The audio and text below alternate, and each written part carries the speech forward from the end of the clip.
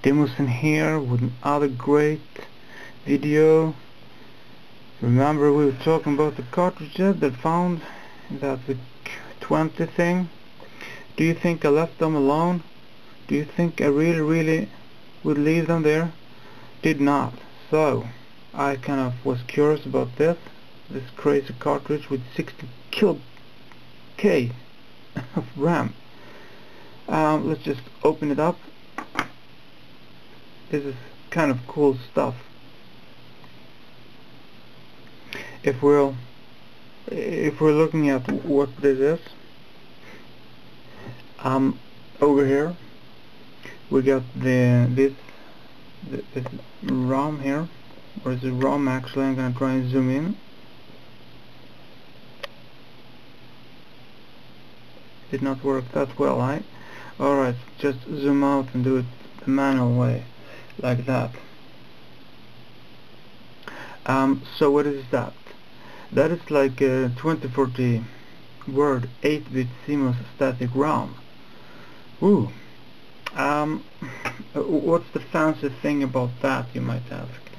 Well the, the fancy thing is that it's um, well it's actually where you can store your programs and stuff inside um, the functional block diagram tells me that it has like a row select memory array of 128 rows 16 columns columns and 8 8 block. Yeah that, that kind of makes pretty much sense. Um, if we're looking here and this little thing is a TMM 2016p and accordingly to a data sheet that I got a hold of this is kind of like um what did it say? I have to look it up again. Um yeah it said it's a 16k NMOS static RAM um, but I, I find it hard to believe actually because it, it makes no sense. But uh, I'm gonna explore this because boom, if we're looking down here, we have a dip switch, which uh, is kind of, um, uh, it, it's it's kind of, um, yeah, you, you can you can switch between uh, different options. Actually, if we're looking at it here, I'm gonna try and go gentle here. Um, this one is off, off, and that one is on and the third one if we're if we're going following the wire here it's actually going to the voltage the VCC on one of them on the chips here. Kind of the, the, the voltage to it. So if it's off it won't give it any power to drive the circuit. And if we're looking here 678 is the exact same but it's for these these memory memories or ROMs. so so so I'm I'm wondering if this has some kind of if you can get funky with those. But um, I'm pretty sure that you cannot get too funky with them. Uh, if we're rotating here with this little chip, uh, what that is, what this chip particularly is, is a standard component. This one is from Mitsubishi by the way and it's a dual two line to four line decoder demultiplexer. What is that? Uh, well it's no funky thing actually. Because hey look at this. Like I said we have one bank. I'm, I'm calling this bank. I, I don't really care what people say but this bank and this bank they're two different banks. This I assume is for the um, the high memory and this is for the low uh, not low but address I'm not that sure how it's addressed in the VIC 20 but the thing is and the thing is that th this this circuit here it kind of makes sure that you can have two line and decode them to four line decoder. And what it means it means that you can input um, like one line mm, how to say? It's a semiconductor in integrated circuit containing two two bits two line to four line decoder demultiplexers with with separately uh, enabled inputs. So enable inputs provide two circuits completely separated right? This is getting complex I know but also it's, it's kind of cool funny to think see because uh, if we're if, we, if we're gonna do it the right way we have to turn it around actually because this is the input. The first one here is the input. It's the 1e input that comes from this side down here. And if we have the other input done where's that you might ask? Um, that one is on 14 and 13 uh, so uh, sorry my bad. The first one here is enabled. It's enabled it to kind of the multiplex. Yeah. Uh, but if, if we are moving on to to the next cartridge perhaps because this is getting very complex and complicated I, I'm not sure if if if anyone has been doing it like me but I, I'm I like to kind of disassemble everything. So if we are moving on we are going to the next cartridge. The go there we go this is the 8k um, I actually popped the chair of this one so to speak because the little plastic thing just snapped off but it's okay I don't care. But this is kind of interesting um, if we're looking at the motherboard should I say the circuit board the PCB board whatever uh, you, we can see that it was basically check it out it was basically the same as for the 16K it's actually the same everything is same the revision of the motherboard and everything here is it's the same with a few changes the changes are this one has just the four dip switches. But the similarities are that if we're checking on off off off. On off off off. Uh-huh that is pretty interesting right? But why, why I doubt like I said that these are 16 um, case are if we're looking at this check it out that little circuit this one is not not um, this one is not similar to this big bad wolf down there. Uh-uh it's not. Because this one is a dual one of four decoder and it doesn't even have a demultiplexer. So it's kind of it's it's about the same as the other guy but this is more like this device has two independent decoder decoders uh, each accepting two inputs and providing four manually exclusive active low outputs. Each decoder has an active low enable input which can be used as a data input for uh, for a four output demultiplexer uh-huh. Each half of um, the 139 can be used as a function generator providing um, all four minterms of the um, two variables. So, yeah, uh, it's, it's still kind of weird because well I just said it, it doesn't have a demultiplexer but uh, apparently it has a demultiplexer and a decoder.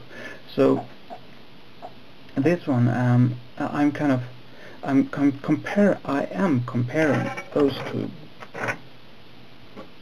That one and that one with each other. And I can see clearly I'm looking at the um, the kind of um, the pin configuration here at the screen beside me here you, you don't really think that I'm kind of well, I, I know stuff like that, but I'm not like the crazy guy who knows like 150 circuits in my head. No, unfortunately not. But if I'm comparing it, I can see that this one has like a, a decoder, decoder. So I'm wondering what, what this little switch down here actually is doing. But if we are looking, we can see that this one is kind of halved. So uh, I don't think that you can use it, but still you can. Um, hard to explain, but this is interesting, actually. Um, and now when I have everything documented like this, I, I, can actually start to play around with the switches. This is, keep in mind guys, this is the first time I'm opening those up and really going into things. So, this is cool. And the 16K over here, th this one I'm definitely going to explore more and see if, if it's possible to, like I said, have like 16k in those, or those actually. That would be interesting. Hmm. So uh, we have one cartridge left that uh, we're gonna take a look at, of course. So, so, so, so, so this is the Programmer's Aid cartridge, and if we open it up, wow, we'll take a look at that. um, this one is um, uh, what is this? It, it's it, this is basically an EEPROM actually, a ROM, which has like the um, the whole code, so to say, the whole uh, the whole PAC programmer's aid programmer's aid cartridge. So this is the ROM for the whole thing. Um, and, it, and if we're looking here, you can see that it it kind of takes the this is the um, VCC I think. No I'm damned wrong. This is not the VCC this is the VCC yeah so this is the VCC going there uh, and this is the ground yeah it says the ground so yeah that's kind of cool. No god damn it I was right this is the VCC it if you were reading there. Yeah I knew I was right. I know but this is kind of um, this is a little mini board so to speak. So this is what it looks like inside and I can see it's a two layer board well yeah I could also show you better if we had some kind of backlight but it wouldn't be well I have a light board but who cares I mean come on guys it's like 2.30 a.m. in the morning and I've got work to do tomorrow so I'm not feeling like going down the basement and pick up the light bulb. That would have been kind of cool to do some light therapy, but still, this is how things are looking, and uh, I hope this this has been cool. This little bonus, you know, for you guys. So I guess I'll just shut these cartridges together, and I'll see you in another one. Uh, you think we were done? No, we were not. Um, I just uh, made some kind of last minute updates on, on what the, the switches are all about because I couldn't really dig that jazz when we were not done with it. So the stuff around here is that with, with those you can kind of change the block where the 16K of RAM will mount in the VIC20's memory map because some games uh, require to have the memory mapped in a different way. So could I don't know how it works with that memory memory in, in the VIC20 but that's how it is. And also uh, the, the thing that I've, I kind of, of course, it, it rang a little bell here uh, is that um, the, the 8K ROM cartridge and uh, the 16K ROM uh, car RAM cartridge uses the same circuit board. The main difference between uh, these two cartridges resides in the number of static RAM, RAM memory. and that is installed. So, so, so this is this is like I said, if you pop those up, then yeah, you kind of turn that memory mapping off. You will get the 8 amount of RAM. So um, there are really no differences between them, so to speak. It's just me getting excited as always.